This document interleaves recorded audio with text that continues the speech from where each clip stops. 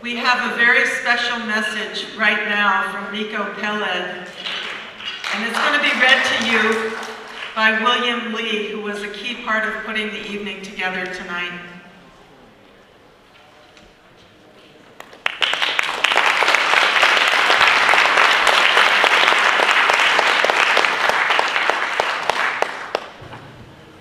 Thank you very much, everyone. Miko Peled had sent us a statement uh, asked us to read it for him. Um, uh, Miko Peled is the author of The General's Son, Journey of an Israeli in Palestine, with a foreword by Alice Waters, published by Just World Books. He was born in Jerusalem in 1961 into a well-known Zionist family. His father, Matti Peled, fought in the 1948 war and was a general in the 1967 war. And then he became a noted peace activist and a leading proponent of Israeli dialogue with the Palestinians and with the PLO. Miko Peled grew up in this highly political uh, milieu, and he himself served in the IDF, service that he later came to regret. The list of vicious, murderous men and women who, as leaders of nations, committed unspeakable crimes is too long to recount. But none of them could have done it without the cooperation of the victims and the society in general. Cooperation with Israel validates Israel's right to terrorize and humiliate Palestinians with our consent.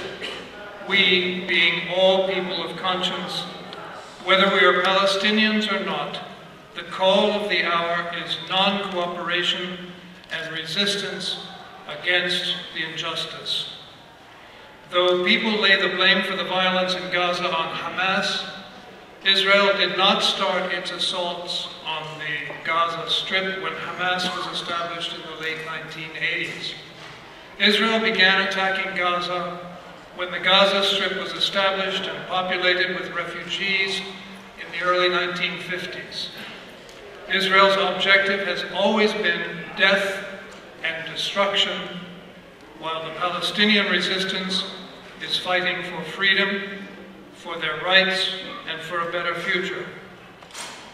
Palestinians, particularly in Gaza, are not faced with an option to resist and be killed or live in peace. They are presented with the options of being killed standing up and fighting, or being killed sleeping in their beds. Gaza is being punished because Gaza is a constant reminder to Israel and to the world of the original sin of ethnic cleansing of Palestine and the creation of a so-called Jewish state. Even though the Palestinian resistance has never presented a military threat to Israel, it has always been portrayed as an existential threat to Israel.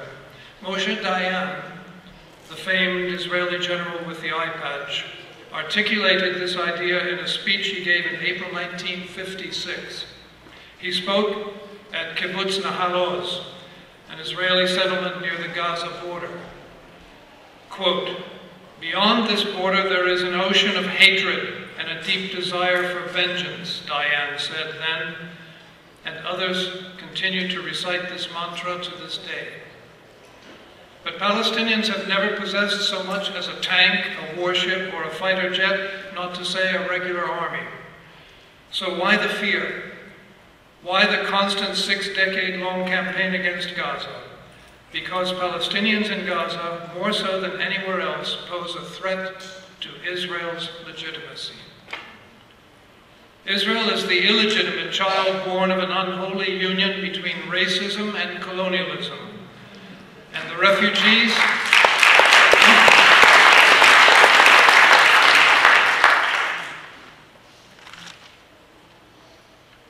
And the refugees who make up the majority of the population in the Gaza Strip are a constant reminder of this. They are a reminder of the crime of ethnic cleansing upon which Israel was established.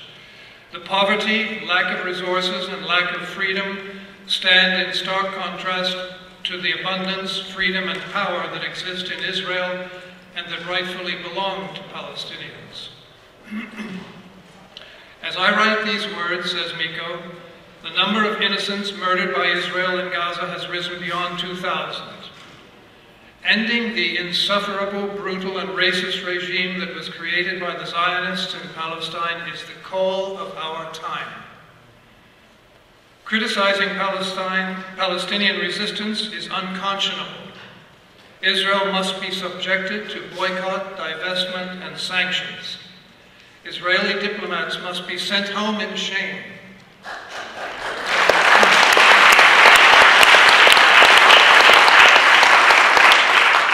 Israeli leaders and Israeli commanders traveling abroad must fear prosecution.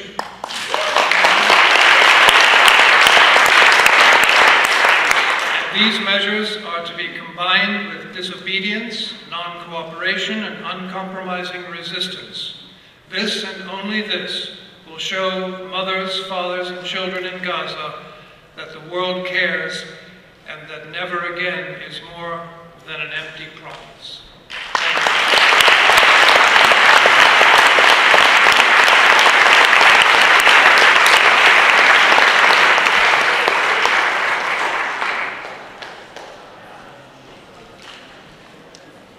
Now, a little bit of poetry. Hala Alyan is a Palestinian American poet and clinical psychologist who has lived in various parts of the Middle East and the United States.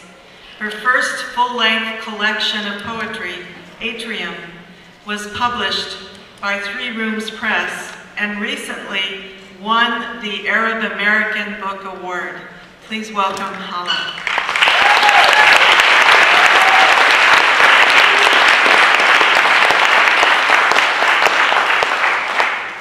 Thank you.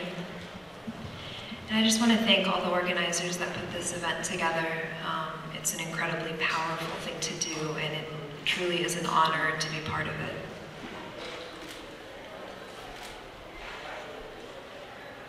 This is weight. This is I did not know they made smoke like ocean. This is aluminum dusk and sulfur clouds. This is Sabah al Khair. Morning of luck, morning of cinder. This is steam and ruin and flashlit bodies. This is counting your loss. This is losing count. This is man greets dawn with head tilted back. This is man greets dawn with shrapnel. This is I cannot count fast enough Samhaini. This is daughter. This is I am half yours, half light thrust midwife from some candle. This is some parallel life where my father's father took a left, grabbed a fistful of soil, and instead of leaving, stayed. This is diaspora. This is always through the television screen. This is always the wrong question. This is five other coastlines. This is gutless. This is don't change the channel. The least you can do is watch. This is diaspora. This is carry your name in Bangkok, carry your name in Brooklyn. This is wrecking ball of compass. This is weight. This is I did not know they made skies so famished. This is metal, reincarnation of metal, of children, limp gray dust beneath buckled buildings. This is sky of knives. This is body, is not body, but silhouette, rib cage, and shallow graves. This is history of shallow graves. This is dedicate the poem. This is dedicate the song. This is don't dedicate poem or song, dedicate the breath. This is I did not know this earth had jaw enough to hold all the things your children have dropped. This is village. This is village eats ash for a week. This is Allah. This is boys terrace bones for luck. This is girls press flowers for luck. This is what luck is it to survive one bullet for another. This is black water and phosphorus fish. This is lost electricity. This is hands muddy from sifting through rubble. This is hands muddy for anything breathing. This is seven types of illness. This is rage is bread if it keeps you alive. This is Allahu Akbar. Pray with both hands. This is hands and cathedral bones, dirt and eyelash. This is teeth and teeth and teeth for months. This is daughter. This is carry your name in throat. Carry your name in Beirut. This is not gun. This is not missile. This is make the world say your name aloud over Gaza and over Gaza and over Gaza until they hear your music because this is survived. This is you are loved. Light spans for you over land and sea, and you are in the mouth of Tripoli shoreline and Boston nightclub and Paris street corner. This is voice too soft, Samhaina. This is Samhaina.